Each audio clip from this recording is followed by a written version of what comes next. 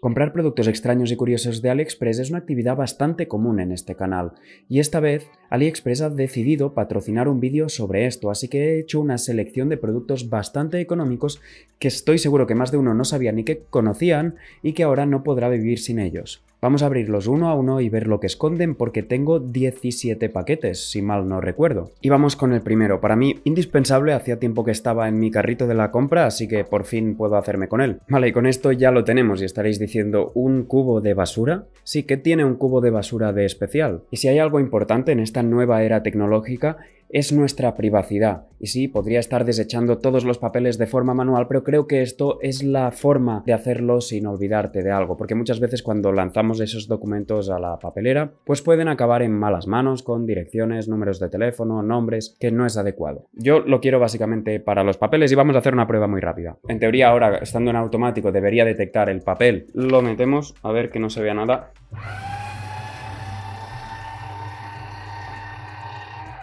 Parece una tontería, a mí me parece muy útil y un indispensable en, bueno, en despachos, estudios, etc. Además a un precio que no es nada descabellado, fueron 17 euros. Dejaré el enlace de este y el resto de productos ahí abajo en la descripción y pasemos al siguiente. Otro que fue muy económico, fueron tan solo 11 euros este producto. Además debo decir que el packaging, por lo menos, parece muy premium para lo que ha costado. Es un apoyo para las muñecas en los teclados, que estos nuevos custom ninguno trae. Oh, ya estoy notando el tacto este que tiene. Ni tan mal. Oh, es suave.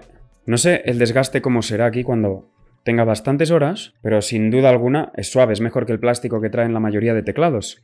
Además, no sé cómo andáis despacio, yo siempre tengo bolígrafos tirados por encima de la mesa o post-its, pues tiene este pequeño espacio escondido para guardar tarjetas SD, bolígrafos. A ver, no es del mismo tamaño, quizá está más preparado para un TKL. Sinceramente, hace que no sea del todo estético. Pero oye, claro que sí, mejor que estar así, forzando las muñecas. Tengo claro que va a pasar a formar parte de mi día a día, pudiendo guardar, oye, este segundo aquí, una tarjeta por aquí.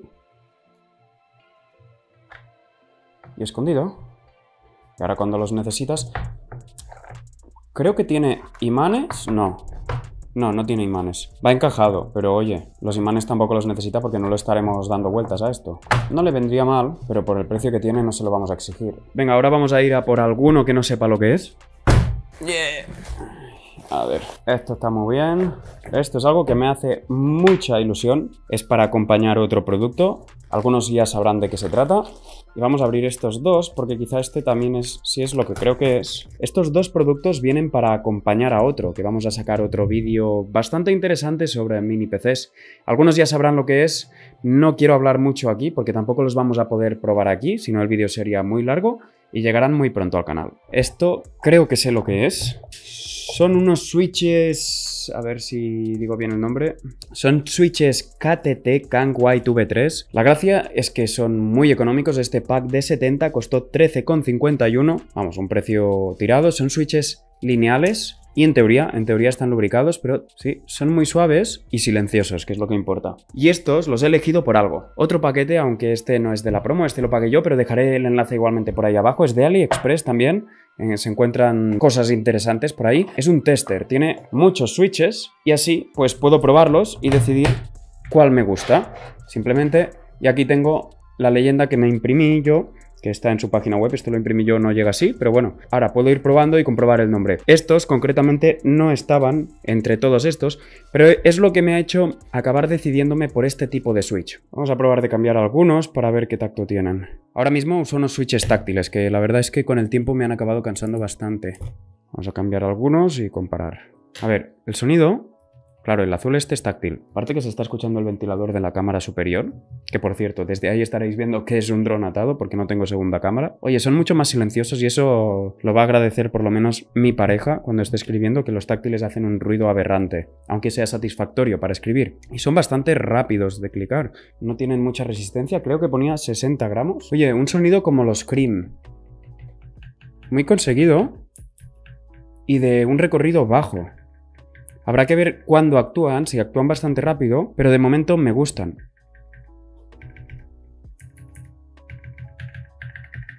Y nada, ya me entretendré en cambiarlos todos. Acabaré dando mi opinión, pero creo que a este precio es indiscutible poder probar esto. Y sobre este producto que también compré en AliExpress, este sí que fueron 40 euros. Hay algunas versiones más reducidas para poder probar distintos switches, que también estará todo ahí abajo. Para mí, que no me entero mucho de lineales, no lineales, eh, marrones, rosas, no sé qué, y de distintas marcas, esto ha sido ideal.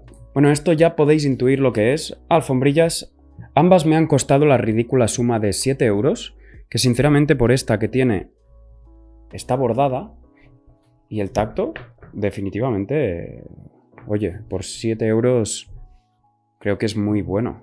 Y qué buen fondo hace para vídeos. Y la otra sí que es algo más grande, ha costado exactamente lo mismo, pero veis con esta no diría lo mismo que con esta. Esta parece de mucha más calidad, bordada, esta no está bordada, esto parece el trozo de una tela cortado y dicho que es para la mesa. Tampoco es fea, aunque con esta textura que tiene me gustará ver el desgaste. Definitivamente es más grande y creo que sobre una mesa blanca va a quedar muy bien. Pero 7 euros por alfombillas de este tamaño. Habrá que ver qué tal se mueve por aquí, por esta alfombrilla el mouse. Por la otra seguro que irá bien. Y es que esta, incluso para recogerla, tiene su peso. El antideslizante de debajo va muy bien. A diferencia de la otra, que el antideslizante, no sé si podéis ver, que son estos puntos blancos que se ven muchas veces, río, porque se ven muchas veces en calcetines de ir por casa. Definitivamente esta es producto estrella, ¿eh? que el antideslizante es muy bueno y el bordado también, la tela de superior también. Estoy seguro que se podría vender por más y se vendería igualmente. En este paquete, eh, aunque parezca un paquete, hay bastantes. Así que vamos a ver qué esconde. Esto lo dejaré por aquí de momento. Sí, está abierto. Es que algunos los he tenido que abrir porque digo de verdad que compro mucho en AliExpress y cuando es mucho es mucho. Entonces llegaron tantos paquetes que entre estos tenía que buscar otros productos que tenía para otros vídeos o incluso para mí que no son para el canal. Oye, esto no me gusta porque no se parecen nada a lo que he pedido. A ver, son unos cascos inalámbricos muy baratos por 11 euros y quería probarlos. Lo único que visualmente tenía muy buena pinta porque eran grises, ponía de Lenovo. No sé si Think Plus es marca de Lenovo o es una marca de AliExpress haciéndose pasar por Lenovo, pero no se parece en nada y eso es lo que me cabrea a los que deberían de ser.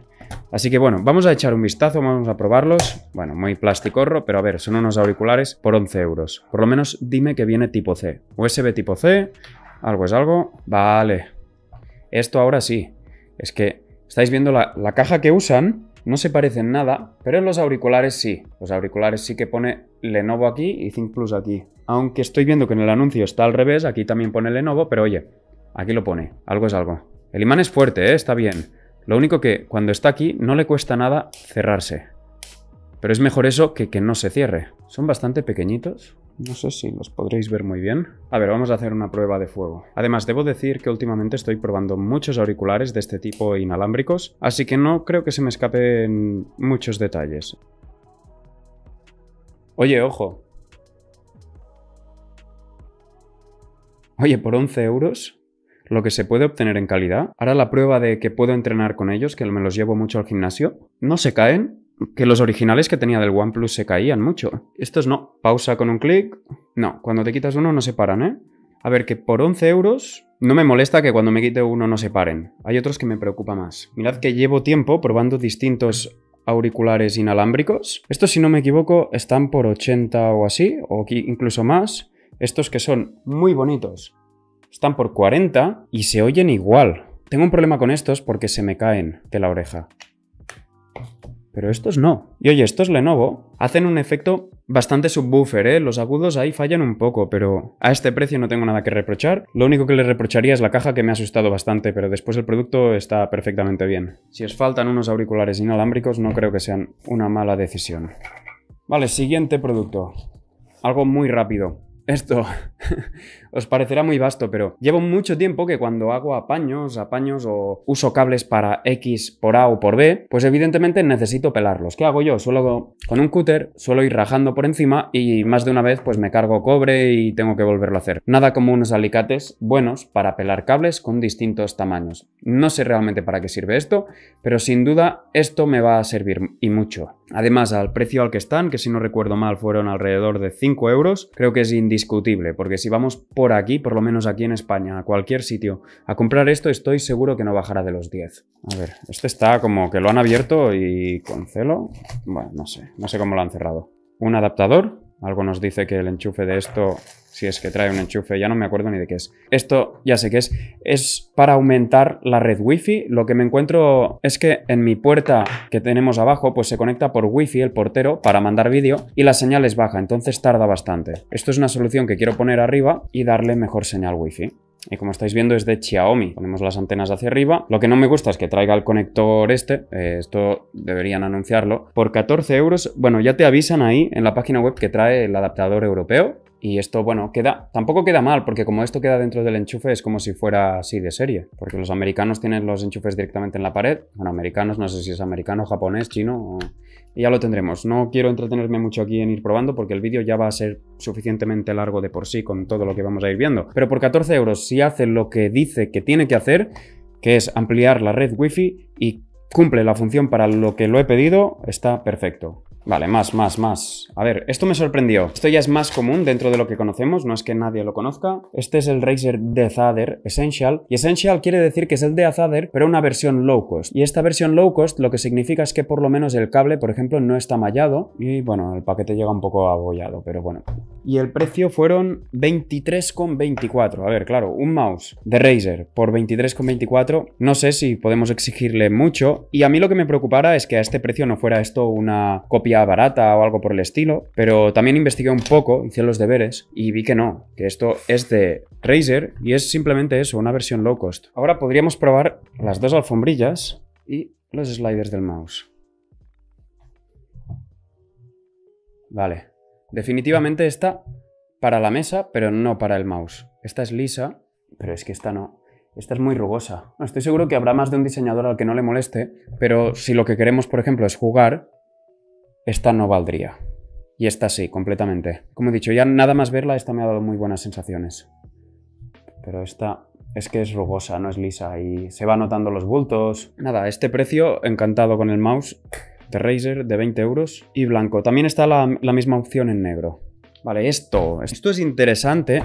Debo decir que es más pequeño de lo que me esperaba. No estuve leyendo las medidas. A ver, es más pequeña que la foto, pero es que claro, imagino que la foto es otro modelo más largo, dejadme mirar. Esto ha costado tan solo 12 euros, pero veo que las medidas ya están bien, 30 por 20. Y correcto, tienen algunas, si queremos, hay más grandes, hay de 60, etcétera, etcétera. Simplemente esto ahora, si yo le pongo un monitor aquí arriba, aparte de ganar este espacio debajo, de lo que me sirve es que donde trabajo con el portátil, me pongo siempre el portátil al lado del monitor grande. ¿Por qué? Porque no puedo ponerlo enfrente. Si los tengo enfrente no voy moviendo tanto el cuello, pero la altura de mi portátil tapa el monitor. Con esto evito esto, pongo el monitor aquí arriba y puedo tener el portátil y el monitor y para mí eso es perfecto. Y por tan solo 12 euros tienes ahora este espacio para guardar algunas cosas y ser más organizado y en vez de tenerlo todo a lo ancho y ocupar tanto espacio, pues al final es un pequeño tablón de madera con los huecos, con las, las patas y no tiene ningún secreto. Y bueno, vamos ya, ya casi, ya casi acabamos con estos dos. Bueno, es que como he dicho, dentro de paquetes se esconden múltiples paquetes y aquí con estos. Esto es algo que me llamó la atención como el, como el mouse de Razer. ¿Por qué? Porque por 20 euros tenemos unos auriculares IEM que últimamente, aparte de auriculares inalámbricos, estoy probando bastantes IEM. Roto por aquí. A ver cómo va. No sé, tenía. Me costaba de confiar pensando que podrían ser falsos, pero es que esto no. Y a mí lo que me interesa es ver lo cómodos que son, porque hasta ahora solo he probado INEAR de KZ y los de sin duda alguna, por la experiencia que tiene la marca, me llamaban bastante la atención. Ya lo estáis viendo. Auriculares pequeñitos, porque es que me he cansado realmente de tanta diadema siempre apretando la cabeza. A ver, me los pongo rápido. Van a pasar a ser mis nuevos IM para el uso de cada día, porque es que voy testeando distintos auriculares y me gusta ir probando. Pero oye, Cómodos lo son incluso más que los caceta que tengo ahora mismo. Tienen bastantes bajos y son muy cómodos.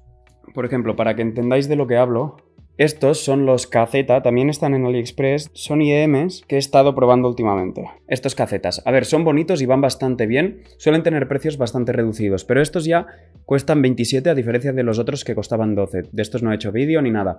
Pero el problema que tengo con estos es que para ser IEM hacen mucho bulto.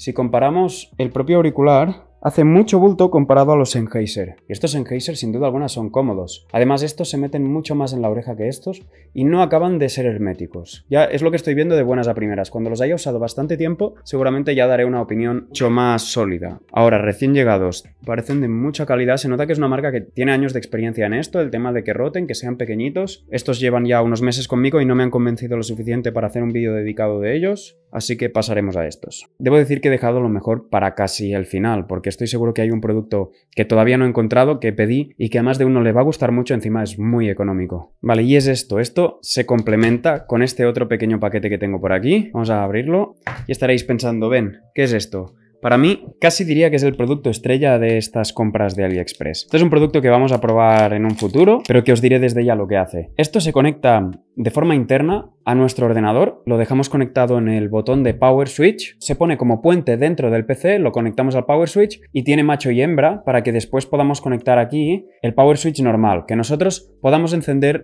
nuestra torre, nuestro ordenador igualmente desde el botón, pero esto lo que hace es conectarse ahí en medio, después se alimenta a través de un USB, hay uno para PCIe, pero yo he preferido uno que se alimente por USB interno, por eso este adaptador, y lo que hacemos con esto es poder encender el ordenador desde donde sea que estemos. Yo, para el uso que le hago, muchas veces me conecto a la torre de aquí de casa, me conecto de forma remota en otro sitio. Muchas veces me ha pasado que se ha bloqueado el ordenador porque uso programas de 3D o con Premiere hay un crash y es muy común, y en vez de tener que llamar a alguien para que esté aquí y reinicie el ordenador, pues con esto lo puedo hacer, lo puedo encender de forma remota. Además se conecta con la aplicación de la Smart House, que es tuya, si no me acuerdo mal. No solo se podrá alimentar, se podrá encender de forma remota, sino que también puede funcionar con Alexa. Esto es la antena también porque, claro, necesita su propia conexión porque el ordenador está apagado y se alimenta a través del puerto interno de USB. Hasta ahora la forma de hacerlo, o la que tenía claro, era, bueno, configurar el Intel Wake on Sleep o Wake on LAN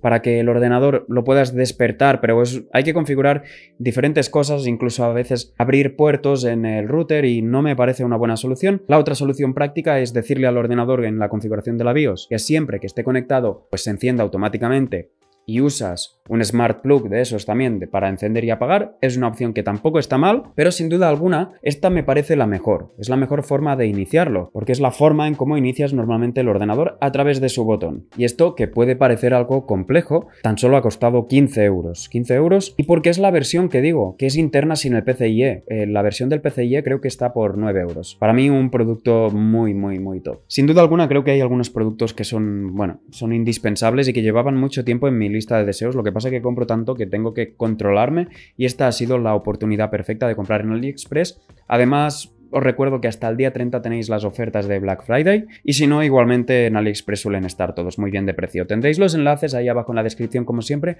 Espero que os haya gustado el vídeo y nos vemos en el próximo. Un saludo.